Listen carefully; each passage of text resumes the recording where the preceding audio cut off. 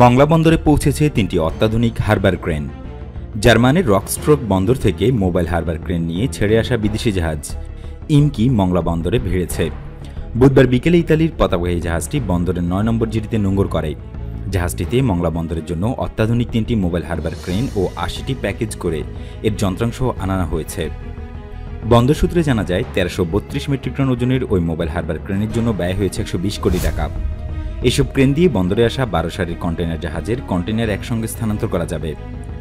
মংলা বন্দরে harbour master commander Sheikh Fakhruddin জানান, বুধবার বিকেলে অত্যাধুনিক মোবাইল হারবার ক্রেন নিয়ে মংলা বন্দরে ভিড়েছে বিদেশি জাহাজ ইমকি। এক মাস আগে জার্মানির রকস্ট্রক বন্দর থেকে মোবাইল ক্রেন নিয়ে জাহাজটি মংলা বন্দরের উদ্দেশ্যে ছেড়ে আসে। আগামী পাঁচ দিনের মধ্যে ইমকি জাহাজ থেকে অত্যাধুনিক এসব ক্রেন খালাস করে জার্মান প্রকৌশলীদের দিয়ে এটি বন্দরের জেটিতে সংযুক্ত করা হবে। এর আগে গত পনেরোই জুন আরও দুটি মোবাইল হারবার ক্রেন আমদানি করে মংলা বন্দর কর্তৃপক্ষ।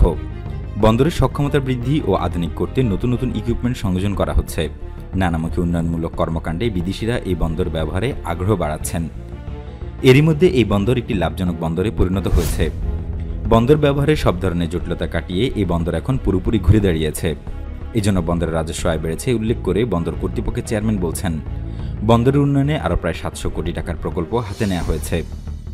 এদিকে প্রধান সমুদ্র বন্দর চট্টগ্রামের উপর নির্ভরতা কমিয়ে মংলা সমুদ্র বন্দরকে গতিশীল করার চেষ্টা অবশেষে কাজে আসতে শুরু করেছে। যে ধারাবাহিকতায় সদ্য সমাপ্ত অর্থ বছরে বন্দরের ইতিহাসে জাহাজ আগমনের রেকর্ড হয়েছে। দেশের দ্বিতীয় সমুদ্র বন্দর মংলায় সত্তর বছরের রেকর্ড ভেঙে বিশ একুশ অর্থ বছরে নশো সত্তরটি বাণিজ্যিক জাহাজ ভিড়েছে।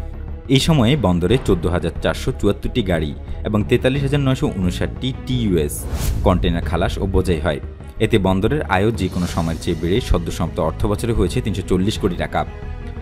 মংলা বন্দর কর্তৃপক্ষ, ব্যবসায়ী ও জনগণের কথা চিন্তা করে লকডাউনের মধ্যেও কার্যক্রম স্বাভাবিক রাখায় বন্দরের আমদানি রপ্তানি বেড়েছে। জাহাজ, কার্গো, গাড়ি ও কন্টেইনার হ্যান্ডেলিংয়ের সকল সূচক ঊর্ধ্বমুখী হওয়ায় বন্দরের আয় স্বাভাবিকভাবেই বেড়েছে।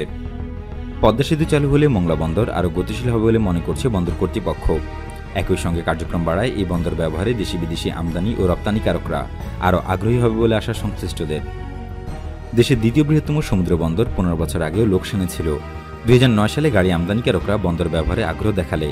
সরকার এই বন্দর দিয়ে গাড়ি আমদানিতে বিশেষ পদক্ষেপ নেয়। সেই বছর থেকে বন্দর ঘুরে দাঁড়াতে শুরু করে। এই বন্দর দিয়ে সিমেন্ট তৈরির কাঁচামাল অর্থাৎ ফ্লাই অ্যাশ ও ক্লিংকার ইউরিয়া সার, চাল, কন্টেইনার, মেশিনারি সহ নানা পণ্য আমদানি হয়। এখন সবচেয়ে বেশি আসে গাড়ির জাহাজ। আগামীতে রামপাল কয়লা ভিত্তিক বিদ্যুৎ কেন্দ্রের জন্য বছরে পঁয়তাল্লিশ লাখ মেট্রিক টন কয়লা ব্যবহার হবে। তখন বছরে একশো ত্রিশটি মাদার ভ্যাসেল ও তিনশোটির উপর লাইটার জাহাজ আসলে বন্দরের কার্যক্রম আরও বাড়বে। সুযোগ সুবিধা বৃদ্ধি, অবকাঠামোগত উন্নয়ন এবং বন্দরকে ঘিরে সরকারের নানা পরিকল্পনার কারণে এই বন্দরে জাহাজ আসার সংখ্যা বেড়েছে। পদ্মা সেতুর কাজ শেষ হলে বন্দরে আরও চাপ বাড়বে। এ কারণে সক্ষমতা বাড়াতে সরকারি উদ্যোগ অব্যাহত রয়েছে। এর আগে উনিশ বিশ অর্থ বছরে জাহাজ বেরিয়েছিল নশো তিনটি।